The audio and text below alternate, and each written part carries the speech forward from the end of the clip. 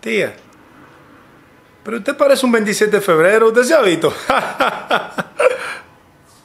Ah, como que te disfrazada.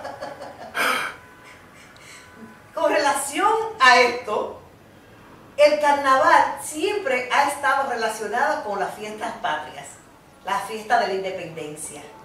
Nuestro carnaval es cultural.